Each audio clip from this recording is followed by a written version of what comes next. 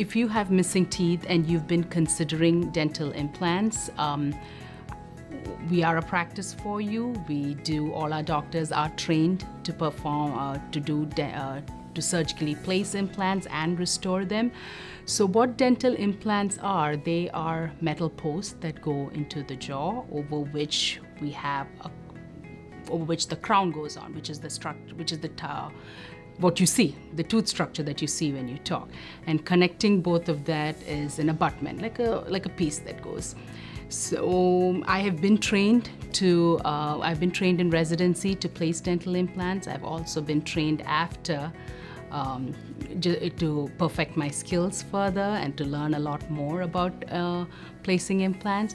For all my patients who, um, who are interested in getting a dental implant, I uh, do get a cone beam CT.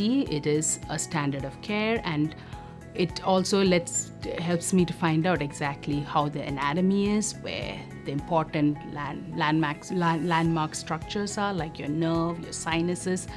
And once the once I have the cone beam CT, I go to the process of studying it and then uh, designing where exactly, figuring out where exactly the implant has to go. Most of the time when the patients come back, we can do the crown in-house with our CEREC technology. Um, if there are times it cannot be done, we send the crowns out. So I would say within um, three to four months of placing that implant, you could have a functioning tooth.